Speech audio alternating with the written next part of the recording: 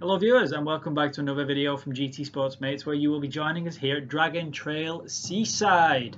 Now it's a five lap race with a rolling start. Please GT Sports get rid of rolling starts, they are so bad.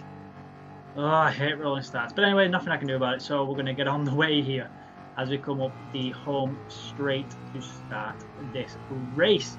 Now, as you can see, we are in third place. Not a bad qualifying. Um, only seven cars, bit of a smaller lobby. Um, but yeah, eh, you know, every car counts. So let's see how we can get on. Looking up the inside of the Porsche there into the first chicane turns two and three. Not quite close enough, so decided to back out. But I'm right behind him now, coming down towards turn number four. Now, the guy in first place. What can I say about the guy in first place? Now, all I can say is in the qualifier, he was absolutely flying around this track and you can see he's already beginning to gap the car in second. Now I'm coming through the second sector here which is not very friendly for the Mustang. The Porsche will do much better through there but because I'm in its tow I'm just managing to keep up with him through there. Very unusual I'll be honest for the Mustang through the second sector on this track. Very difficult indeed. Hard braking down into turn number 11 as we come round now to, for the first time in this race, come into the Death Chicane. Now, if you have not played this game, let me just tell you that it's aptly named. This, cor this, this set of corners though, we've just gone through, has killed every single driver on this game at some point. No one has ever not crashed in the Death Chicane. Now, you saw the Porsche just go into the wall a tiny bit on the exit, and that has given us the advantage we need to just go up the inside into turn 16 up to turn 17 here and onto the home straight on the end of lap one. So we're up now to second place. The guy in first really really pulled away in that first uh, in that first lap. It's going to be an absolute mountain of a job to try and catch him up. I'm going to do everything i can but i'm going to tell you now it's going to be difficult. But what I do want to say before we get any further on is this race, I, wanted to show it because it's a lesson on never give up. Never give up. Do not just think, oh, I can't do it and quit out. Never do it. And you'll see why at the end of this race. Please let us know in the comments if you've ever thought, I can't do this, I'm going to quit out. Rage quit it out and then gone, oh, I should have carried on. I'm going to assume quite a lot of these have done that at some point.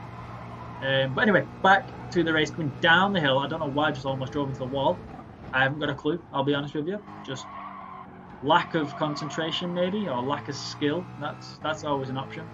Um, but going around turn 11 there, back into once again the Death Chicane. Can we go through this time without hitting the wall? Make it two from two. It's going to be very quick through here. We're going to try and not hit the wall.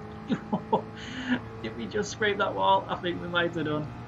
Um, yeah, that's what I mean though. It's so so quick through there, so so quick, and you've really got to be gutsy because you'll lose so much speed coming down this little section here. Um, if you don't go for it at full speed, but if you do, it's so so difficult. But one of the best rewards is getting through there unscathed. I will say that if you can get through there fast and clean, best feeling on GT Sports. I'm not gonna lie, it really really is. Um, now, the Porsche, as you can see, made some ground up there through the slipstream of the Mustang. He looked to make a move up the inside, wasn't quite close enough, just like myself in lap one, so he decided to back out, but he's very much still a threat at this point. I can't just forget about him. Round turn four, up turn number five, braking very hard, turning in. Super easy to actually miss your braking zone and go very, very wide there even go off into the sand. And if you go off into the sand there, you are just going to plummet down the field because you just got just getting back on track. It's an absolute pain. We're in the second sector now, and you can see just as going over the curb there, this Mustang very very unsettled through these um, very quick S bends second sector. I need to figure out a better way of getting around them. I really do. I just I always struggle through that. Braking hard down to turn 11, trying to get as neat as we can to try and propel ourselves out onto the little straight here, going into the Death Chicane one more time. Now, will we hit the wall this time? We scraped it a couple times, not actually hit it really close there, but going over the curb, and again, into the wall, but I think the two cars behind have also done the same. No one, as of yet, has crashed out in the death in this race.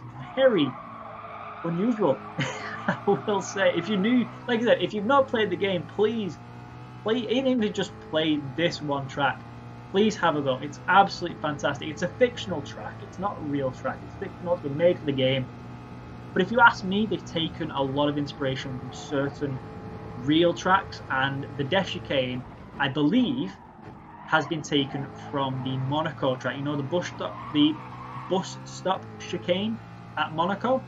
Apparently, that's what the Death Chicane is based on, and it's superb. Uh, and a few other little corners um, on this track, which have got took inspiration from elsewhere. I won't get too much into it, but please give it a go. Let us know what you think. And oh, hold I meant someone's off in the background. It looks like the Porsche driver has had a bit of an accident. I'm not sure what's gone on. He's disappeared, so I'm no longer under attack from the back as of yet. Um, so yeah, I'm not actually sure what's going on. But we're on the penultimate lap, so one and a bit laps to go, and I've got clear air in front of me by several million miles. But I have got clear air behind me, which means I don't have to defend at all now. I can just concentrate on getting the power down, get the speed into this track. Very difficult to do, especially in the Mustang, I will admit. I absolutely love this track. Can we go through? Just scraping the wall again. I really want to do it clean. Um, but yeah, I love this track. It's a great track. Not the best track for the Mustang, but I'm not going to stop driving it. It's just too much fun. It really is too much fun. Around turn 16 though, trying to keep it tidy again. The gap behind is up to about three seconds, I think it was at that point. Um, so yeah, I haven't really got to worry too much about him, unless I wipe out at some point, which is very easily done. But it's the guy ahead. I mean, we can't even see him. Where's he gone? I don't know. But it's the final lap. Now, I did say that this race I wanted to share because it's a lesson in not giving up. Now, what do I mean? Now, you may have figured it out, you may not figured it out. I, I may crash out and then spin and whatnot, and somebody else could come from nowhere and overtake me. I'm not going to spoil it, just keep watching to the end. Now, down into sector 2, round these S-bends, really trying my hardest to take as much speed as I can. Just trying to avoid these curves at all costs because if I go over them, you can see how unsettled the Mustang becomes gapping the guy behind a little bit more now, which is making this a lot more comfortable. Down into turn 11, hard on the brakes. The guy in front just absolutely disappeared on us in the last uh, last lap there. Coming once again into the Death Chicane. Can we get this time? I mean, there's a yellow flag. There is a yellow flag. Someone has wiped out, and I think we know who it's going to be. It's the guy in first place. I'm going to come around. I actually get around pretty well. I'm going to down his left side there. We're in the lead on the final lap coming down to turn 16. I did say it's about never, ever giving up. Race to the end. I'll be, I'll be honest with you. I actually feel kind of bad. That guy, he just walked away and he did not deserve to lose. But it happens. And if I had to give up, I wouldn't have took a victory though. A bit of a hollow victory, I'll admit, but it's still a victory. But I want to see what happened. So as you can see, he is in the Jag, and it's a superb car on this track. This car, absolutely brilliant.